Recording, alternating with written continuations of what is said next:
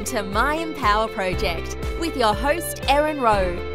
We will discuss nutrition, fitness, becoming your own boss, and just becoming better every day. I invite you to join My Empower Project as we embark, embrace, encompass, and enlighten. Sarah Small is the empowered empath, supporting women entrepreneurs to create a thriving body, business, and life. She believes that the pathway to healing inevitably leads you to your soul's purpose. Sarah is on a mission to change the way we approach healing chronic illness. She has committed herself to helping other women who have hit healing and or business plateaus to incorporate what she believes is the most potent aspect of our growth, the emotional, energetic, and spiritual. Hi Sarah, thank you for joining my Empower project. I'm so glad to be on today. Thank you for having me. I want to tell you before we start um, how I found you. I'll try to keep it short, but you have enlightened me with so much. I was searching on how to do a podcast launch, and yours, Healing Uncensored, was the only thing that appeared when I had Googled, like, how to do a podcast launch. And not only that, but your main topic at the time was regarding empaths. Mm-hmm. And I don't speak about it, but I am an intuitive empath. And I also believe in healing the body with food. And you were going into detail about autoimmune disease and how food can help that. Mm-hmm. And also, one of your earlier episodes, you shared how some physical reactions can happen during a tragic situation. Yeah. That put me in disbelief because the night before my mom had passed, I was super sick. And well, actually, no, before she got diagnosed, I was super sick. And I didn't know until I heard from you that I like somehow knew something. Mm-hmm. And it happened since then as well with close ones. So mm-hmm. I do mm-hmm. believe our physical body and emotional mind are intertwined with the hearts of our loved ones. Yeah. And so I love following you. I want to ask you actually, I just want to hand over the mic and learn from you. I want to start with your recent publishing of your book, 21 mm-hmm. Days of Healing. Tell me about that. Yeah, so uh, thank you so much. And that's actually so fascinating to me that that I would come up in a search like that and that that's how you randomly found me. But uh, I love it. I love it. And uh, po- launching my podcast about a year and a half ago was such a cool just journey and exploration into being able to discuss the things that I love most in this world and having had my own gosh like 15 year journey now with chronic illness and through that discovering that i was also an empath and just somebody who intuits her surroundings and feels deeply into the energy of people uh, which includes emotions and physical sens- sensations that that was also affecting my physical health. And in this journey that i talk a lot about on my podcast it, i started to put together what I call a holistic healing toolbox. And really, for me, healing started with food and it started with removing gluten from my diet because I found out I had celiac disease and then removing a lot of other inflammatory foods from my diet and for specific to autoimmune, I followed the autoimmune paleo protocol for a while, just um, really restricting a lot of foods, which didn't turn out to be the healthiest thing. But at some point, I felt like I hit a plateau and I felt like I'm doing everything, you know, air quote over here, right. I'm eating all the right foods. In fact, I'm hardly eating any variety of foods because I've restricted it so much. And I'm still not feeling better. I'm still feeling inflamed. And ill and fatigued and frustrated and my anxiety for for at least like a full year was debilitating. And that's when i started to search outside of food and food's still a very big part of my healing process but i felt like i had to start looking outside of that to get over this plateau, this feeling like I was stuck and yet doing everything air quotes right and perfect and that my inner perfectionist was so frustrated. But uh, in that journey i discovered energy medicine and emotional healing and i realized i wasn't just physically inflamed i was emotionally inflamed and for my whole life practically i had been telling everyone and telling myself that i was fine when i wasn't really fine. Like i i had emotions that i just don't allow myself to experience. So long story short i allowed myself to really dive into being the student being student and just learning and and really surrendering to that I didn't know everything. I was already a yoga teacher for at least 5 years at that point. I, you know, had gone to IIN Institute for Integrative Nutrition. I was a health coach. I thought I knew a lot. And turns out I I went back into that beginner mindset and learned so much more. And that was what birthed my book, which is 21 Days of Healing, and it's based off of a live program that I also host, a live course called 21 Days of Healing.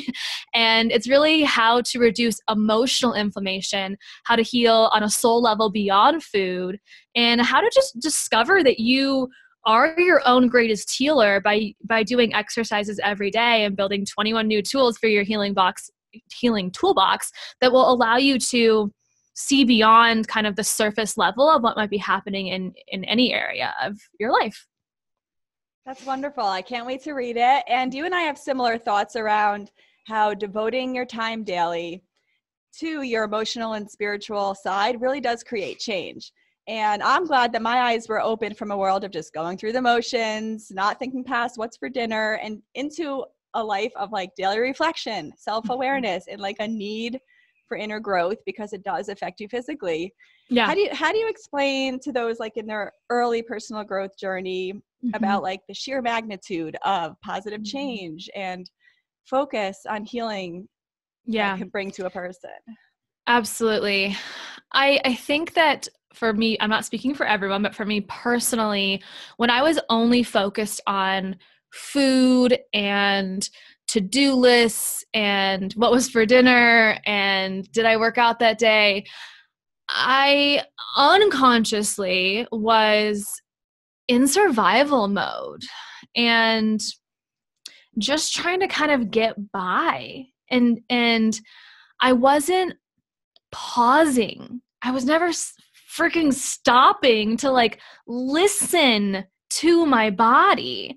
And there was a lot of shoulding on myself. So, like, I should do this, I should do that, I should go work out, I should meal prep, I should meal plan, I should, you know, think positive thoughts, I should call my friend. And all these things, it's high expectations that I held myself to that again there was there was no pause to ask do those things actually fill me up do those things actually support my life or am i just doing them in this autonomic nervous system state which is just it's autopilot. It's just go go go go. And uh, in that state of go go go i was comfortable but i was comfortable because it was an avoidance of so many other aspects of my life.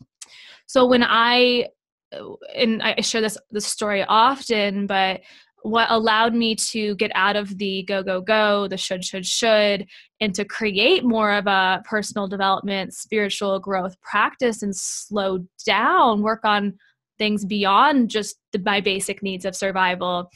I i was kind of thrown into a pit in order to to find that for myself. And it was when my brother jordan committed suicide. And this came as a giant shock to my entire family. And it was you know obviously an insurmountable loss that we're, we're still very much grieving. But in that moment uh, all of a sudden all those motion emotions and that like survival mode like came up to the surface. And it was like okay sarah you can keep living life the way that you've been living it in this fine state or you can get down to business and like not in a hard you need to work harder way, but instead in a nourishing way for my soul and start to pause more and listen to my body and connect to my body and talk to my body and meditate and do breath work and just be in more tune in more in tune with myself. So i knew what was going on and that changed everything for me. Everything for me changed after i allowed myself to slow down take the time for myself write in my journal. And it might seem silly or um, like too simple to some people but I, I promise you that when you allow yourself to get radically honest with your emotions so much can be uncovered and unearthed that is ultimately not negative or something to be perceived bad about yourself but instead there's there's so many lessons learnings and teachers underneath all of that if you just give yourself time to to have space for a spiritual practice and if spiritual the word spiritual doesn't align with you that's totally fine and call it a self growth practice or a personal development practice Thank you for sharing about Jordan. If somebody wants to get into a routine, how would they begin? My suggestion is to like I just mentioned the pause. It's it's slowing down. If you're in your go go go more survival mode habitual patterns then the way to get started is to break the pattern it's to do something differently and that that means switching up a routine it means bringing in a new practice. It means letting go of something that might feel more energetically draining or toxic for you in your life and instead bringing in new new ritual. And again that can that can take a million different forms but i think the starting point is just observing taking inventory of your life what's serving me what's not serving serving me what is in alignment with my ultimate goals what is not in alignment with my ultimate goals and can i slow down enough pause enough to just ask my body what does it need? And so that's a great question to start with too. What do what do i need? How often do we ask ourselves that right? It's like how can i help this person? How, what do they need from me? What does my boss need from me? Like how can i be working harder? What about what do what does my soul just need today? So it doesn't have to look the same every day either. It can be an evolving, ever evolving process.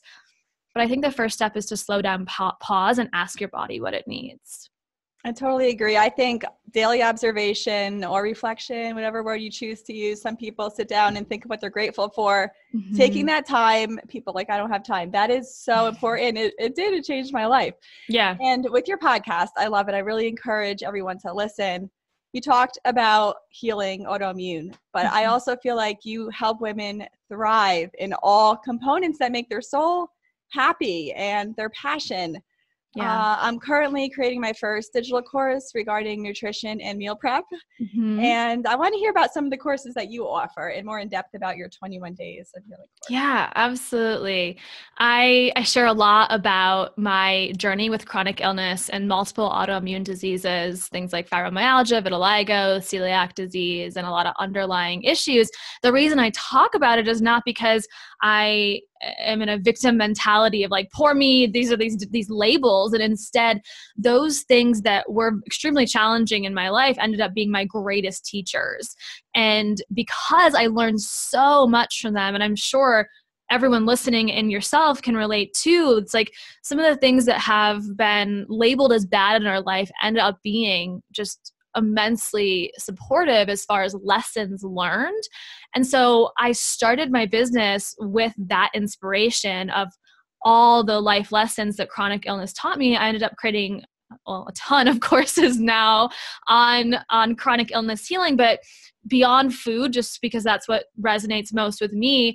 And I talk about like there's I have a chakra therapy course where you talk about how your energy centers are related to physical symptoms. Very much a real thing if you haven't looked into it.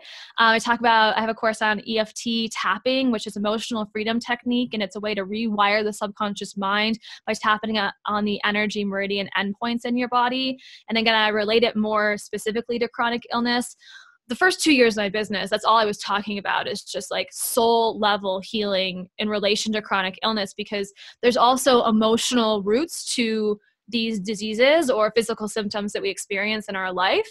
A great example of that that so many women struggle with today is thyroid disease and or just thyroid imbalance and as a disease it's uh, typically uh, hashimoto's is a, is a common autoimmune disease affecting the thyroid and there's another called graves disease but when there's a thyroid imbalance yes on a physiological level there's numerous thyroid hormones TSH, T3, T4, free T3, etc. And there's an imbalance there that can be measured through lab testing. But what we don't measure is a human's emotions because they really can't be measured. So we don't in a doctor's office consider how that may be impacting us on a physiological level. And what we see is there's a huge common thread and theme in women with thyroid issues which is this tendency to be a people pleaser to feel like your your voice doesn't matter to feel like it's hard for you to stick up for yourself to feel like you just you don't know how to express yourself or it's hard to, to speak your truth. And all of a sudden when when people i love this moment because hopefully somebody listening is having this moment right now where they're like oh my god that's me. And i thought i just had to take medication for the rest of my life. But what if i could also address my healing from another another uh, angle another angle?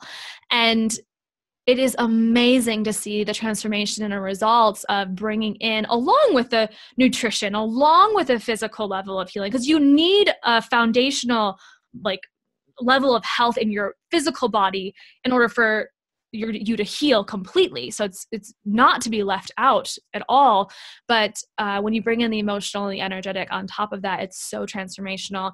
And that's something i also teach in my courses and in 21 days of healing.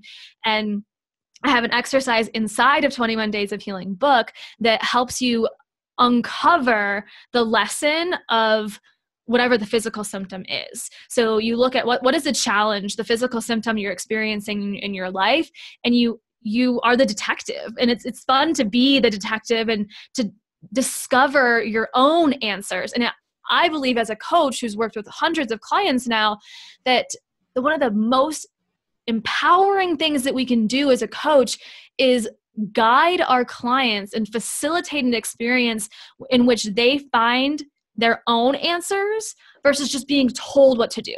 This is what you need to do. This is how you can fix this. And it's like, what is more transformative and life changing for that person is when they discover their own answers and you simply facilitate that aha moment.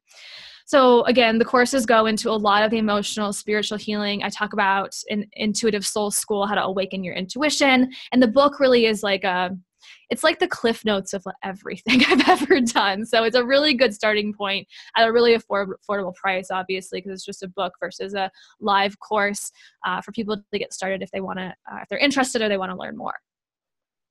It's wonderful that you're guiding women through this because I feel like we didn't learn about this in school. I actually had reached out and asked you where to get my crystals, and I bought some from your suggestions. Like, these are things that either go over our head or we think they're not for us because there's nobody to guide us. Like, if we call up one of our girlfriends, most of them are just like intuition, like, I'm trying to feed my kids right now. Like, it's just not something people prioritize. So no. The fact that you laid out this guide is just, it can help people emotionally, yeah, mm. physiologically. And, and it's just one exercise a day, which, yeah. yeah, there's a million excuses we can make on why we don't have time, we don't have energy, etc. But the reality that the deepest truth is we all have five minutes. If we want to make and prioritize five minutes, we can always make five minutes in our day for just little tools to just like easily start start to prioritize this and you mentioned intuition specifically and to me when we slow down and pause enough in order to listen to our inner self or our higher self or the the little rumbles within us uh, rebecca campbell writes uh, trust the niggle trust the niggle inside of you. To me it's like the little like rumble in your belly the gut instinct the inner knowing that oftentimes we write off and we're like oh that must not be right. Who am i to think that like i i ha- i'm an intuitive or that i feel on a deeper level? But the truth is you do and we all do and we all have this capability within us. We all have this possibility to awaken our intuition and to to feel that little rumble in your belly and for it to guide you in your life and for it to help you make choices and and take you along the most aligned path if we allow ourselves to to listen to it and to pause long enough and to develop a spiritual practice or an intuitive practice that lets us listen beyond just our ears. So of course, like people listening to this podcast can listen with their ears. I'm, you know, they're hearing you and me right now. But there's other types of listening. You can listen with your eyes. You can listen with your heart. You can listen with your emotions, with your what's called clairsentience. That is the empath. It's clear feeling. Uh, you can listen with with your mind. That's that's a claircognizance, clear clear knowing. So we have all these clear senses or clair senses that uh, we're not taught in school. Like you mentioned, like we are not taught this stuff in school. So of course it might sound new or crazy because it is just unfamiliar. It is just new. But if you take the time to to just experiment with this. Everyone has a different relationship to their intuition, but I highly recommend if you're new to this to experiment with an intuitive practice because it can completely transform your life and there's so many answers that that become available to you through your intuition that uh, were not previously didn't didn't seem previously available i love your teachings and i really I really also encourage women listening to build a business in something they have a passion about, optimizing their well being, and just to have the confidence and energy to build that business is tough because fear holds us back. So, what piece of advice do you have to encourage women to branch out, take that chance, mm-hmm. and create a business? That's such a good question. And I can so put myself back in that in my own shoes three, four years ago, where I was working a full time nonprofit job as a international chief of staff for a food and agriculture organization. And my schedule, I was overworked, underpaid, unfulfilled. My heart was passionate about sustainable food and agriculture, but not about the position that I was playing in the company or the organization. And so then there was this little niggle that was like nudging, nudging, nudging, being like, ah, oh, Sarah, you've learned so much through grief and loss and, and challenges and specifically autoimmune and chronic illness in your life. You should do something with that. like walk closer, go. And of course, fear was like, Mayday, Mayday, who are you to do that? You don't know enough. You're not an expert. You, you're not like a authority or you're not a published author. Like no one's, you know, whatever the freaking self-talk is in your head. Everyone had, we've all had it at some point in relation to some area of our life. And it very much came out for me in the starting, beginning and start of my business. What eventually happened was, again, I was very inspired by the death of my brother because even though that was at the time the greatest loss I'd ever experienced in my life and is still one of the greatest losses I've experienced in my life, it also inspired me to realize how quickly life can be taken away from you and how we're the truth is that there is there's life and death we're all freaking going to die someday. I know we don't like to think about it but it's going to happen someday and we don't know exactly when it's going to happen. And that lit a fire underneath my ass to be like wow what am i doing with my life?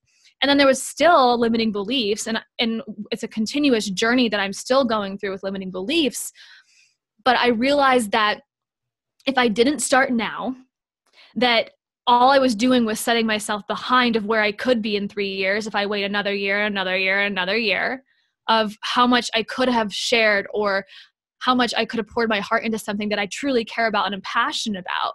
So in tarot uh, readings, we there's a card called the Fool, and I love this card because fool. When we think of the fool, it's like the foolish, stupid person, but it's the opposite in tarot. The fool is often de- depicted by a baby little chick uh, stepping out of the nest and off of a little you know flimsy branch.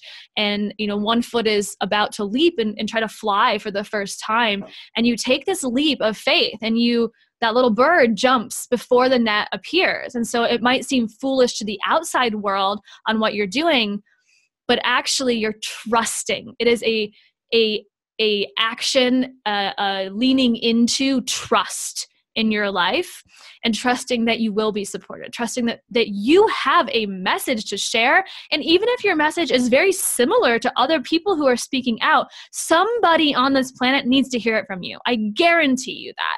I my message is not super super unique compared to others that are in the field but somebody needs to hear it from me and the way I have to teach it compared to the way somebody Susie down the street has to has the way that she teaches it. They're going to get something different from me. There's not too many people in the field and the best thing you can do is start now. Do it anyways. Just freaking go because you're not going to regret having started. And any failure is simply feedback. You're going to learn so much about yourself along the way. That actually touches me personally because while I'm creating this meal prep course, I have all these limiting beliefs. And then I'm like, I'm just afraid to put it out there. But like you said, I have knowledge to share. So I'm just going to mm-hmm. go and do it. and like your there's probably a thousand people who do meal prep, but the way you do it is different. It is unique. It is going to touch somebody in a way that like all of a sudden it makes sense or it's exactly what they needed or the the recipes or the ideas around it are different from what they've heard or they've been presented before that's going to be potentially life changing for somebody. And that's the other thing about taking the leap of faith and going for it and starting your business or doing something you're passionate about is that, you know, we we never know who needs the message until we start sharing it. And it's truly a disservice to the world to not share your value, your wisdom, your the, all the knowledge that you do have from probably well I think we all probably bring life experience, which has immense value in itself, as well as anything you've learned in your own education, you blend that together, there's so much for you to be sharing with the world. Yeah, I think that everybody has something to share, whether it's just how to make a DIY project or something on a deeper level. Mm-hmm. Okay, now I want to ask you something a little off topic. Can you tell me about your Airstream? Because I've seen pictures on your Instagram and I yeah. love it. of course. So yeah, my husband and I live uh, outside of Boulder in Colorado, and we have we have a house, but we just recently brought bought a second property up in the mountains in Grand Lake, Colorado. And we just fell in love with this area. There's three giant lakes, and we missed the, the abundance of lakes from the Midwest. So we were really called to be able to spend more time up in the mountains. So of course we're like, okay, well let's just like see if we can afford this. What is the price range and what does it cost to live on a lake up in the mountains in the in the Rocky Mountains right outside of Rocky Nash Rocky Mountain National Park. And so we're searching and searching, and our realtor is like, I think you got, you're like a young couple. I feel like you'd be a good fit for this home. And we look at it and we look at the picture. There's one picture, and we're like, what is that? like what actually is that? And so we it was very hard to like decipher. I'm a visual person. I'm like I, don't understand. We need to go look at it. So we get there to the property and we realize it's it's an airstream. And it's an airstream essentially with a living room like built onto it. So it's not a mobile airstream anymore I guess technically we might be able to unearth it. It might ride again, but for now it's definitely static. It's definitely in its it's in its spot. Uh, but we fell in love with it. It was so unique and so different, and it had character. So we bought it, and it has been a, a, project for us. A lot of fixing up. The previous owners were in their like late 80s and had lived there for 50 years. So you can imagine the amount of stuff. Um, and even stuff that was left behind. So we we've been fixing it up and this is beautiful timing the day we're recording this because this weekend uh, we officially officially open it up as a second business on Airbnb. So our first our first official renters check in this Saturday, and uh, we're really excited slash nervous because we just you know it's we love it, but it's a very unique property that has been fun for us but we're like is everyone gonna love it? We, we don't know.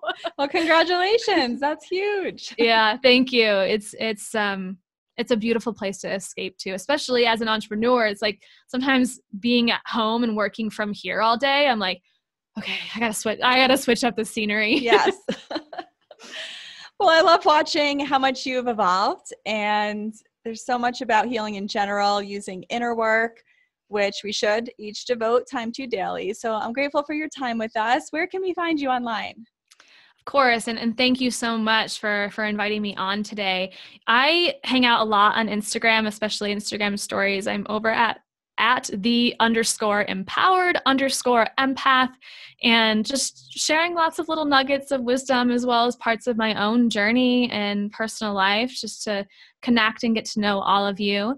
I also have my own podcast called Healing Uncensored, which apparently you can find if you search how to have a podcast launch party. that was like I remember it was so much fun and um, so nerve wracking because you're like, oh my god, I'm doing this and I'm putting myself out into the world. um, yeah, so healing uncensored my podcast, and then you guys can my my domain's being updated, but it'll be re- redirected regardless. Uh, it's autoimmunetribe.com, and that's where I share a lot of other information and ways to work with me. Well, thank you so much, Sarah, and congratulations. Your wedding was beautiful. Oh, I saw those so photos.